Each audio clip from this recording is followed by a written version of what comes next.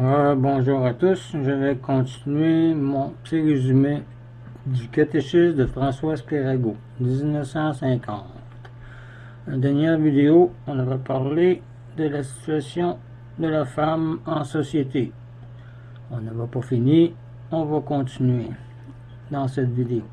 Donc, pour commencer, on va commencer avec un signe de croix. Du Père, du Fils et du Saint-Esprit. Amen. En étudiant le caractère de la femme, j'ai dit, il est difficile de penser qu'elle pourrait avoir sur les affaires politiques une influence conciliante et modératrice. Pourtant, aujourd'hui, on en voit beaucoup en politique. Ce serait plutôt le contraire et la politique s'en ressentirait, dit-on. Elle doit prendre juste les carrières auxquelles elle a des dispositions naturelles, mais qui étouffent jamais ou presque jamais sa maternité, qui est sa vocation particulière que Dieu lui a assignée. L'égalité parfaite de l'homme et de la femme est impossible, parce que la femme a d'autres qualités que l'homme n'a pas, et vice-versa, et qu'elle ne doit pas être que sa compagne. C'est à la Révolution française en 1789 où on demandait l'égalité avec l'homme. Mais les femmes ont beaucoup exagéré car on, on les a beaucoup abaissées dans le temps. Donc, euh, Vaut mieux en demander plus, au moins, pour en recevoir au moins un peu. D'après moi, c'est doit être comme ça qu'ils pensaient. Où on demandait l'égalité avec l'homme. Les femmes exigeaient les mêmes salaires, ça c'est normal, le privilège pour certains travaux féminins, le droit de nommer les députés et de se faire élire. Elles poussèrent leur folie jusqu'à demander leur admission à tous les métiers, à tous les emplois civils et même militaires. L'obligation des habits masculins pour les femmes et l'élimination des genres dans, dans, le, dans la grammaire, etc.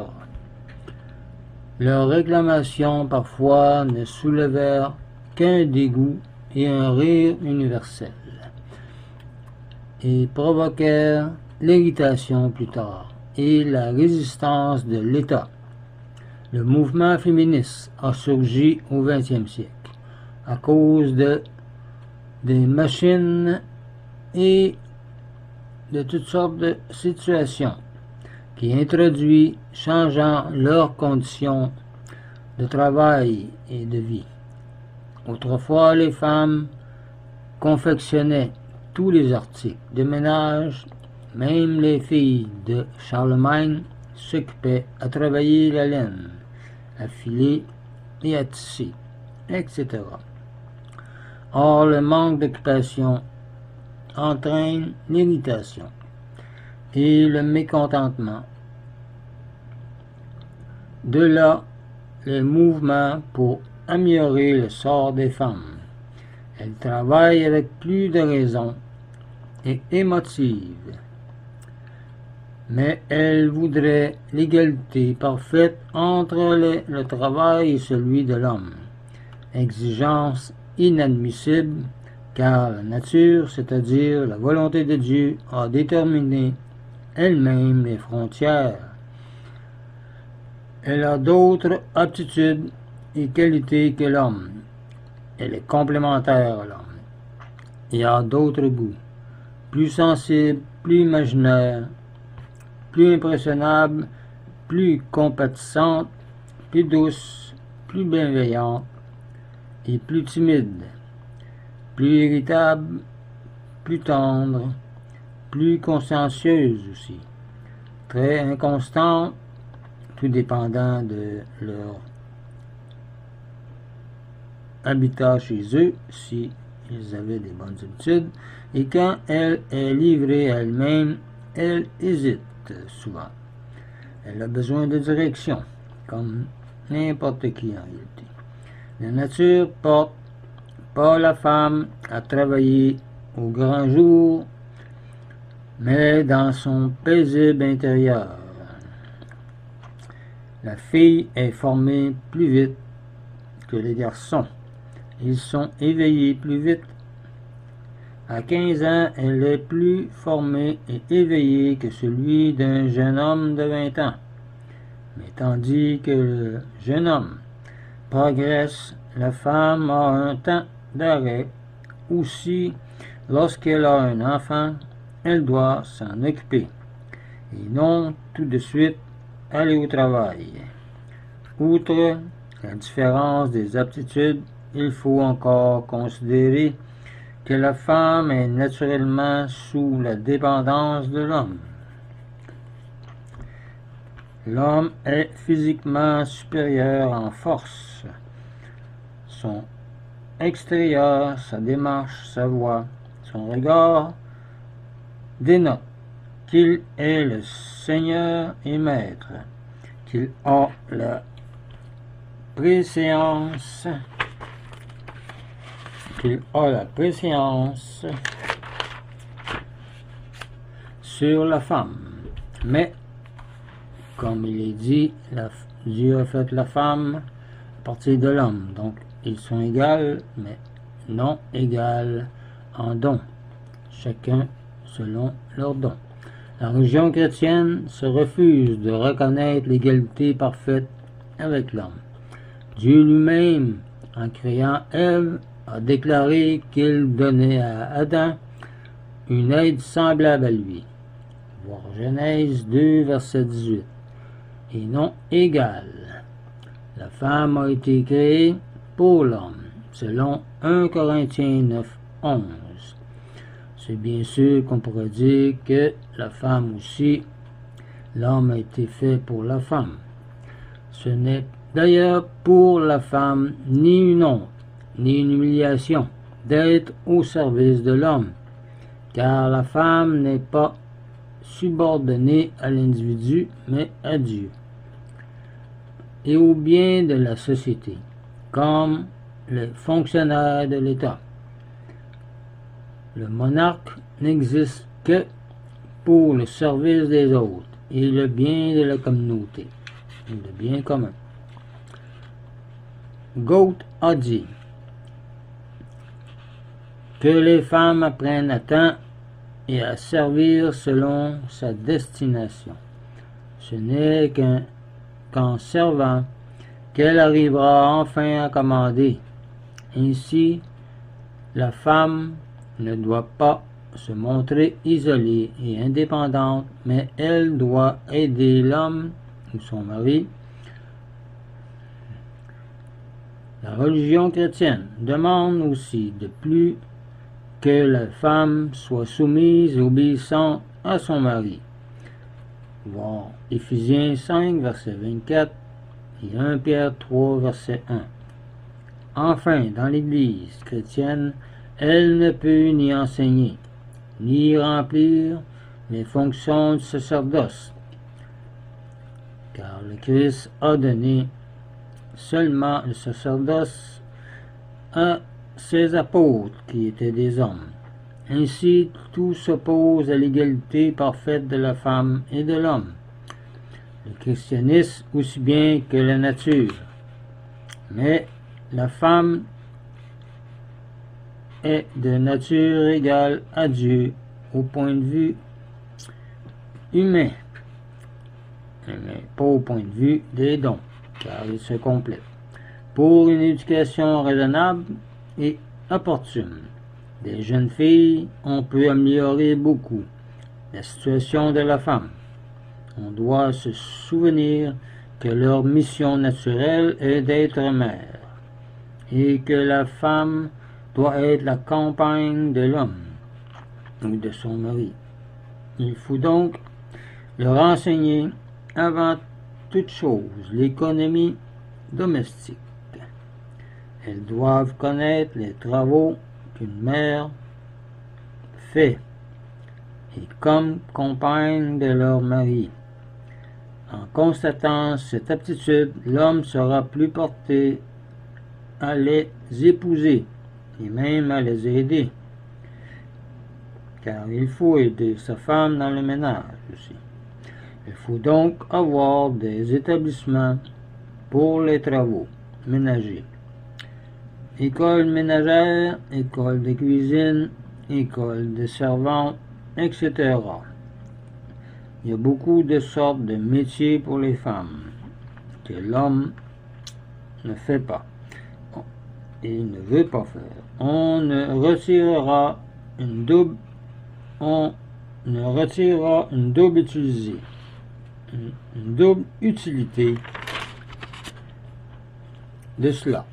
Les jeunes filles seront instruites selon les besoins de l'époque et les femmes trouveront comme maîtresses et directrices de ces écoles un nouveau cercle d'activités convenable pour eux. Il faut aussi faire l'éducation intellectuelle de ces jeunes filles car plus elles seront instruites, mieux elles rempliront leur devoir de mère et leur devoir d'État, et même trouver leur vocation. Et mieux, elles aideront leur mari et tous ceux qu'elles peuvent. Jouer du piano, par exemple, dessiner, peindre, lire des romans sont des choses qui ne aidera pas beaucoup mari. Mais c'est bon pareil. Il y a aussi des dépenses futiles. Mais il faut apprendre à vivre à deux. On dit de la femme qu'elle peut dépenser sans sonder, sans même y penser, sans trop y penser, elle dépense, elle dépense. Plus que son mari ne peut amasser avec un boisseau. Il faut donc, dès son enfance, lui faire apprendre quelque chose d'utile pour lui permettre de gagner son pain et aussi d'être capable d'économiser. Si elle ne si elle se marie pas, il est bon qu'elle aille faire une carrière comme un médecin ou avocat ou comme elle veut, afin d'aider le mari qui perdrait, par exemple, sa fortune si elle est mariée. De tout temps, les couvents catholiques ont travaillé à résoudre la question sociale en s'ouvrant aux femmes qui ne peuvent ou ne veulent pas se marier. Ces asiles leur offrent le moyen d'utiliser leur activité en se consacrant à des œuvres de charité ou conformes à leur nature et utiles à la société, comme le soin des malades, l'instruction de la jeunesse. Si les États réussissent à améliorer le sort de la femme, une grande partie de la question sociale sera résolue, car la famille est la pierre fondamentale et angulaire de la société. C'est d'elle que dépend essentiellement la stabilité de l'État. Donc, c'est important la famille. La civilisation a commencé lorsque la famille a été organisée. Si l'on parvenait donc à favoriser la vie d'une bonne éducation familiale, par des réformes opportunes, la société serait sauvée de bien des obstacles, de bien du troubles.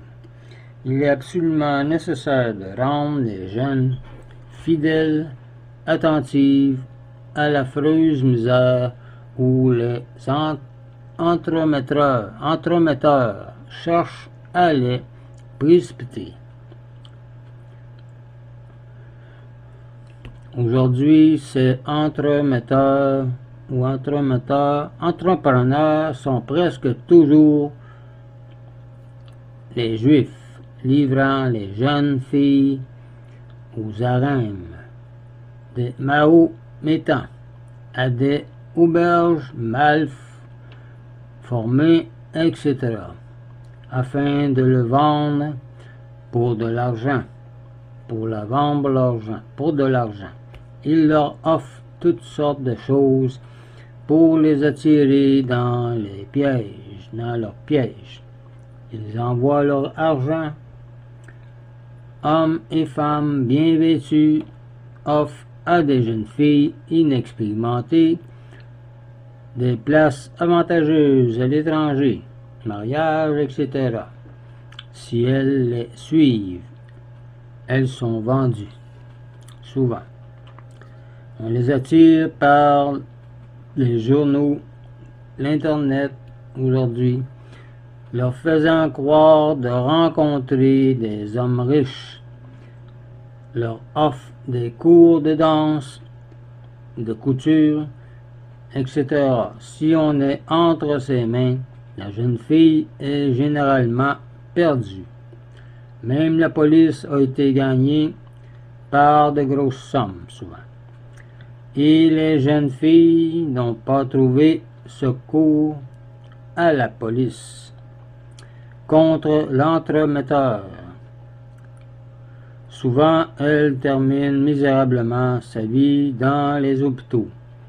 Et que dire des sectes aussi, qui rendent esclave tout le monde qui y rentre par de fausses doctrines.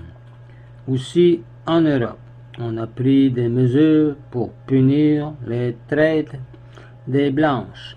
C'est mieux d'avoir une position modeste mais assurée plutôt qu'un paradis de chagrin et de misère à l'étranger.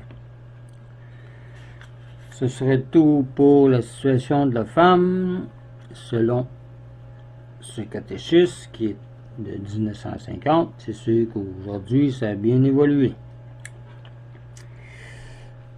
Euh, donc, ce serait tout pour aujourd'hui. La prochaine fois, nous allons parler de la bienséance et la politique chrétienne. Donc, je vous laisse là-dessus. Je vous dis au revoir et union, prière.